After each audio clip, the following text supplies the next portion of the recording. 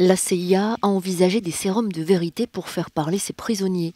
Selon un rapport déclassifié, l'idée a germé en raison de la résistance aux méthodes d'interrogatoire controversées dans des cerveaux présumés des attentats du 11 septembre. Les médecins de la CIA estimaient que cette alternative médicamenteuse était a priori plus bénigne. Les recherches médicales sur les prisonniers étant interdites aux États-Unis, l'idée a été abandonnée. En 2009, Barack Obama a mis un terme à ce programme d'interrogatoire de la CIA assimilé à de la torture.